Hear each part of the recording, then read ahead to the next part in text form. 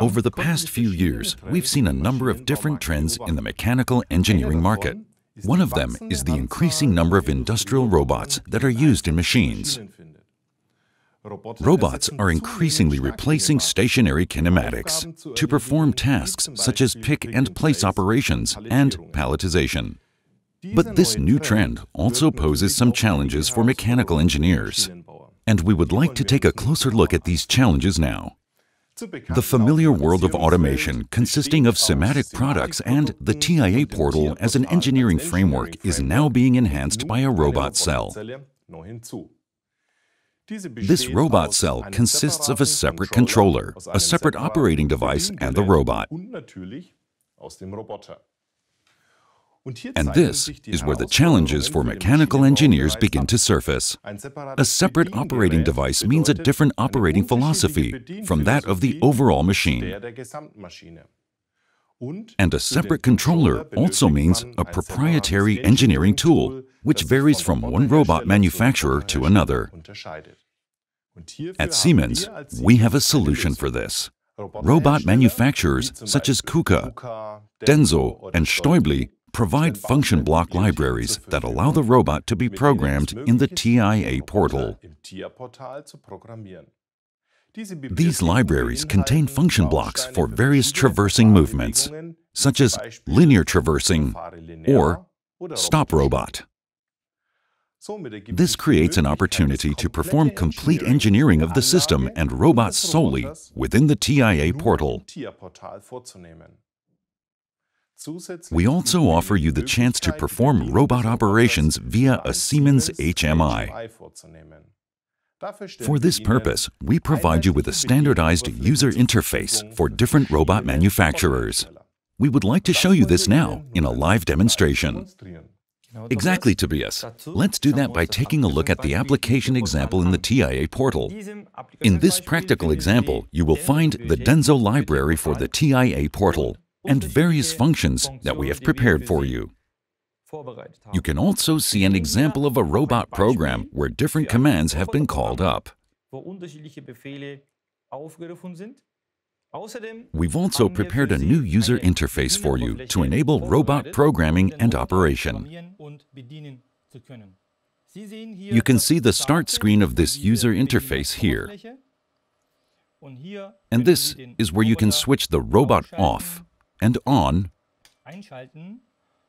And you can also see various types of information about the robot, such as its position. You can also define operating ranges for the robot and assign names, enter tool offsets, or even the payload. To move the robot, click on Move. You have different options for moving the robot.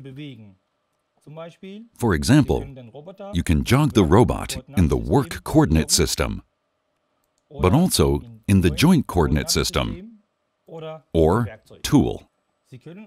You can also have the robot perform a linear traverse.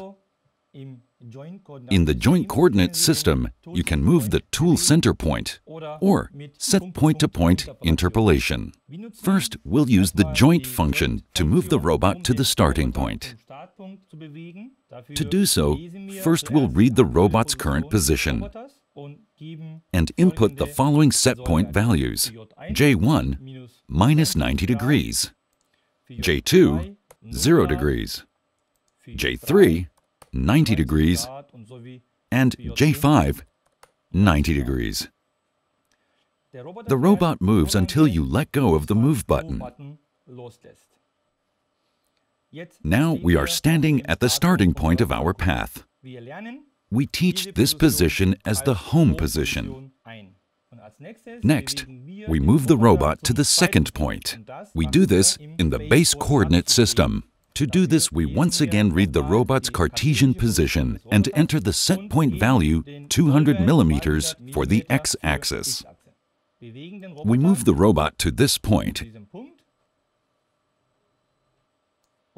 and save this position as pre-pick position 1. Then we move the robot to 400 millimeters on the z-axis and teach this point as pick position 1. Now we move to the left, from the robot's perspective, entering a set point value of 200 millimeters for the robot's x-axis.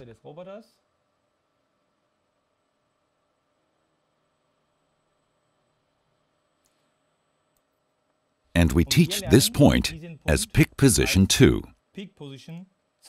And now, we move the robot up along the z-axis to 495. And we save this point as pre-picked position 2.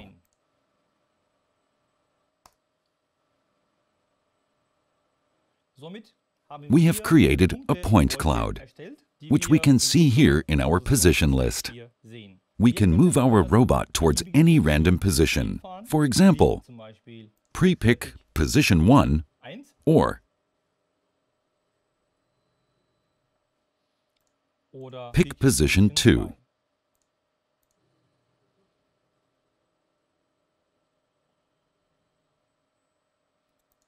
Now we can write an online program in which we switch to the view Teach Path. So we're going to use Path 1, applying all the positions from the point cloud that we have taught. The first point is home, and the second point would be pre-pick position 1. The third point would be pick position 1, and the fourth point back to pre-pick position 1. For the fifth point, we move the robot to the left side, from the robot's perspective, to pre-pick position 2, and then to pick position 2, and back to pre-pick position 2. The last point is home again. You see an X mark here showing each point. That means that for each point, we still have to adjust a parameter, namely the motion type. With this parameter, we define the type of interpolation of the movement. In other words, P2P, point-to-point, -point, or linear. For each point, we save this parameter as linear. And when the points have been completely defined, green check marks appear in place of the red X marks. Now we have green check marks everywhere. So the program is properly defined and ends at this red line. Now we would like to test the program which we have written online, namely Path 1. To do so, we activate the step mode and set override to 100% and launch the path movement. The robot is located at the initial point, home. Second point, pre-pick position 1. Pick position 1 and back to pre-pick position 1. Now left to pre-pick position 2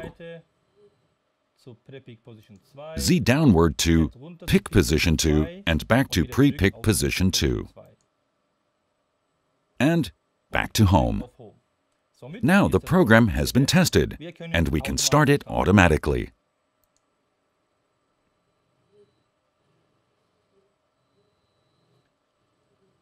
Thus, we can see the entire routine that we have programmed online.